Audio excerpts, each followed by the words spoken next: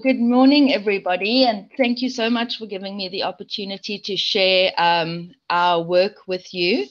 Uh, the name of my presentation today is um, Let Stories Breathe uh, and a Digital Perspective, together with using autobiographical learning for student engagement. Okay, sorry, I have already been introduced, so I'll just skip that slide. Okay, so in terms of stories and getting to know one another. In the world that we live in, um, you know, Chimamanda Adichie says very clearly that the problem with stereotypes is that they are not untrue, but that they are incomplete. They make the one story become the only story. And as educators, we feel that it is so important that all our students are heard. And what I'm going to do with you today is just share a little bit of our story and how we have incorporated digital storytelling into our curriculum and uh, giving our students a voice. So I'm part of a bigger digital storytelling project at CPUT that has been ongoing since 2000, 2010. And we define digital storytelling as the process of creating a personal narrative that documents a wide range of culturally and historically embedded lived experiences by, compare, uh, by combining voice, sound, and images into a short video developed by non professionals with non professional tools within the context of digital storytelling workshops. Uh, what is important here is to note that these digital skills that we teach our students are, are really non, not professional. We're not out to make videos or movies that are Hollywood standard. It's more about giving students a voice and allowing them to tell their stories. In conjunction with this, we have also developed uh, at CPUT ethical guidelines for digital storytelling in higher education. And these guidelines are for uh, research, for teaching and learning, and for community engagement, and can really be uh, used by anybody who wishes to engage in digital storytelling. Um, the focus of this talk is not about the ethical guidelines, but the link for the guideline document is in the, um, the document that Anelda created. So please feel free to have a look at that before you start any digital storytelling project, just to acquaint yourselves with, um, you know, sort of the ethics behind it. And I'll explain why now. Okay, so let's get into talking about digital storytelling as a tool for teaching. The most important thing that that I've had to learn is that digital storytelling is a process as a matter of fact, the digital part of it is what comes last. It's it's more about getting the students to tell a story in two minutes because a digital story should never be longer than two minutes. And there's a lot of planning and writing that goes into it before you start recording. So I, there is a digital story telling process that one can follow, which really relates back to coming up with an idea, exploring the idea, writing the script, planning, and then once all of that is done, create gathering the the images that you want to project uh, to tell your story.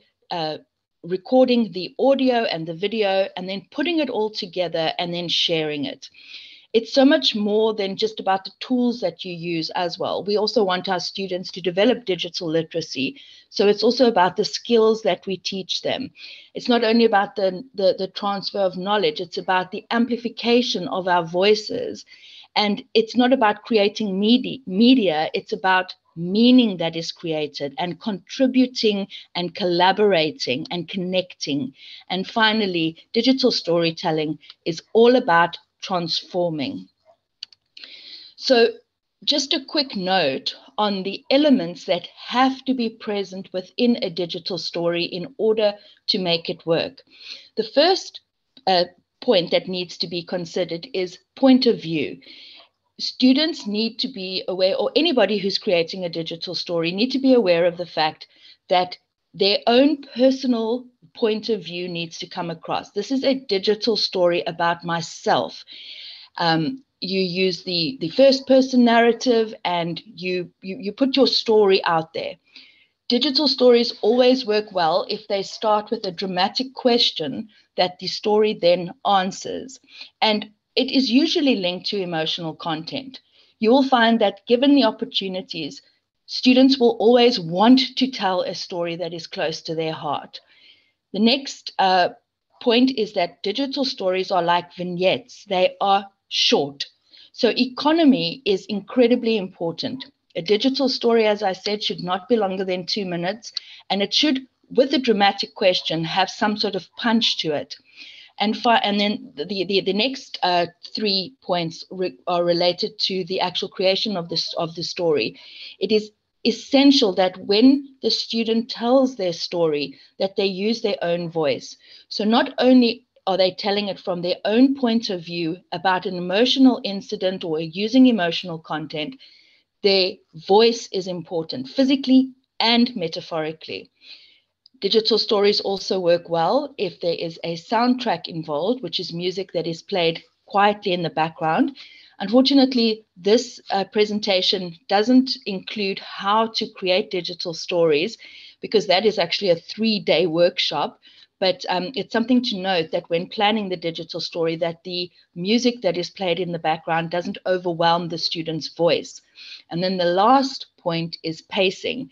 Students need to be taught not only how to write the story, but how to voice the story, pausing at certain moments, uh, creating emphasis in, with their voices. So you can see that the digital storytelling process is, is all about storytelling, writing their own story. So writing skills are at at um, at advanced or um, you know sort of put to the to the fore. Um, pacing in terms of vocalizing and speaking that is also a skill that is uh, demonstrated. And then of course the um, actual digital skills in putting the story together. so the question now is, how do I do it? So the way that I do it in my class is I use the uh, overarching theme of autobiographical storytelling in my classroom. So autobiographical storytelling is basically storytelling the curriculum and allowing students through storytelling the curriculum to add lived experiences to the content that they are learning in order to understand it better. So I'm going to give you a few examples about what I mean, and uh, hopefully then it will make a little more sense. So um, one of the examples that we've used uh, at CPUT in the Faculty of Education is that the, the education students have a subject called professional practice. And in this, uh, there's a sub uh, section of this subject uh, which deals with uh, educational psychology. And in that subsection, they deal with the topic of adolescence. So, after uh, negotiating with the uh, subject lecturer, I did a digital storytelling project with that class where they were asked to interview uh, a grandparent or a parent and then compare their experiences of adolescence with the students' experience. And to look at sort of differences between how their grandparents experience their adolescence compared to what the students uh, uh, use it, uh, uh, experience it, and then to create a digital story of a incident either in their own uh, adolescence or in their grandparents' adolescence that they felt, you know, that, that they felt moved them and then they were they were able then to link their own personal experiences with the content that was being taught regarding adolescence therefore storytelling the curriculum. Another uh, project that we did was an art appreciation project with our art students. And we asked the students to that they were being taught the skill of analyzing paintings art appreciation. And they were taught very specific skills in this class and together with the art lecturer, we developed uh, the digital story uh, workshop, and, and they were asked to identify a symbol in the painting that spoke to them. And for example, one of the, the students uh, looked at a painting by Penny Siopis and saw the, the symbol of a bird in the background of this painting, and then wrote a story about how after her heart surgery, she felt as free as a bird. And then another student looked at the painting uh, called Dora and the Other Woman, where the in the in the painting, the the character or the main person in the painting had photographs pinned to her dress and these photographs were uh, the only link that, that Dora, the character in the painting, had with her children, as she was a, a, a domestic uh, worker who lived far away from her children, and her photographs were her only link to the children.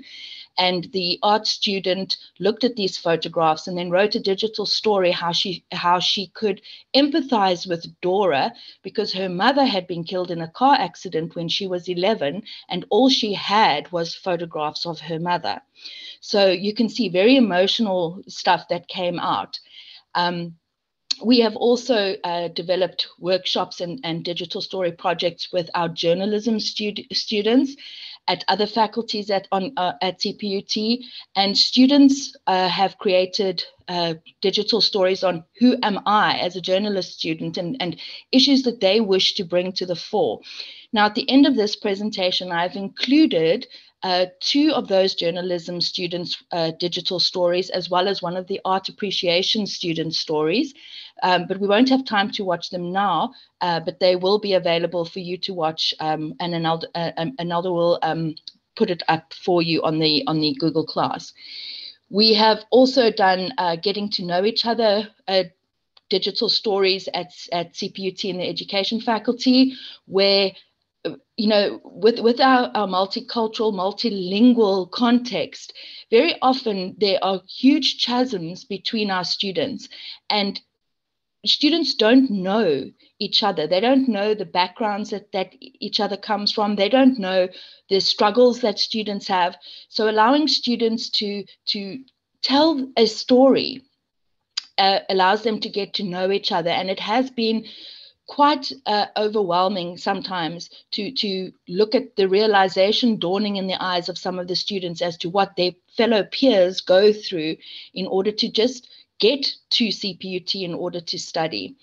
And then another project that we've done, we've got many, I'm just sort of highlighting the major ones, is that we have instituted with the digit with, with the District 6 Museum when we do uh, with uh, when our students do the walk of remembrance or the privilege walk in Cape Town, they get to reflect on the process uh, and they they get to talk about either personal experiences of relatives who were forcibly removed from District Six, or um, you know any stories that they might wish to share about how they felt doing the privilege walk or the walk of remembrance.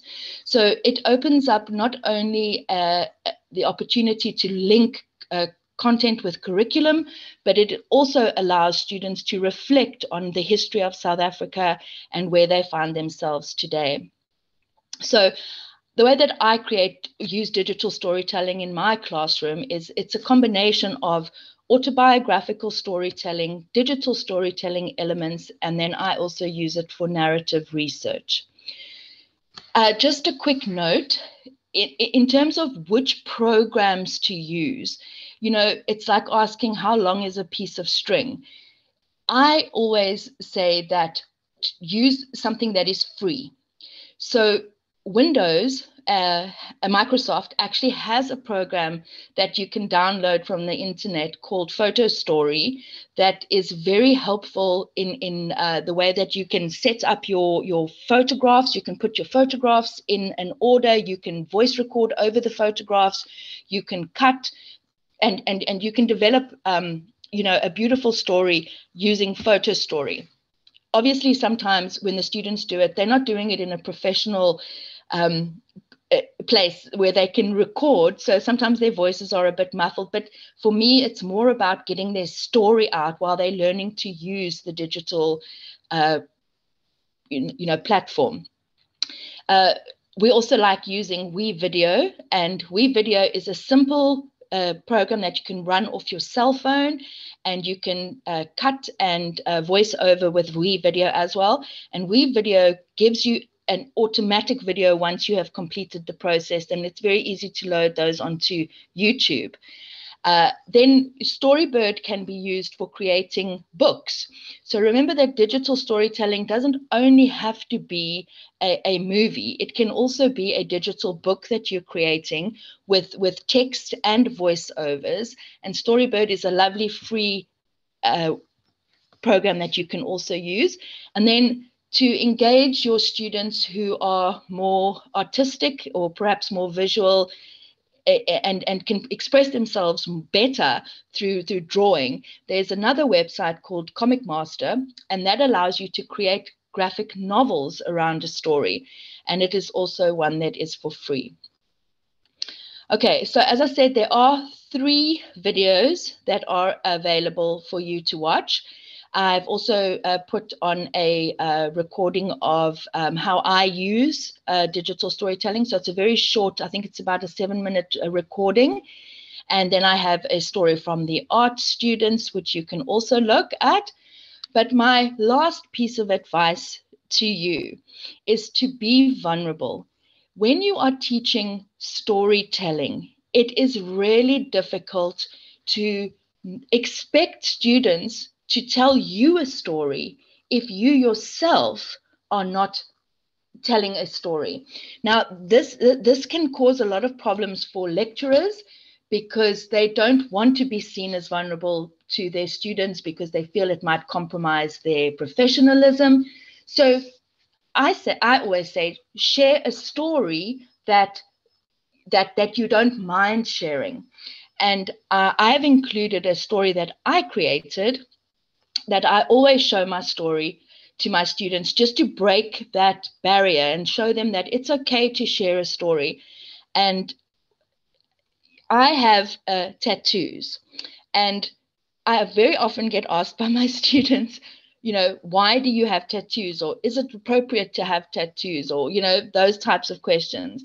So I thought that I would create a digital story about why I have my tattoos and it, it sometimes is quite an eye opener for the students to sh- when I reveal the vulnerabilities that I do, but also it helps them to know that it is a safe space for them to create their stories and to share their vulnerabilities with me too.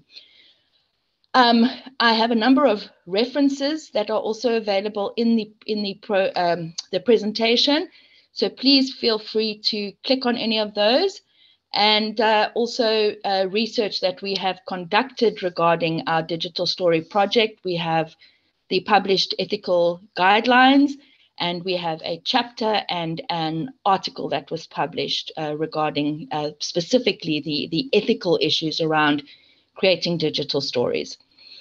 But um, that is the end of my presentation.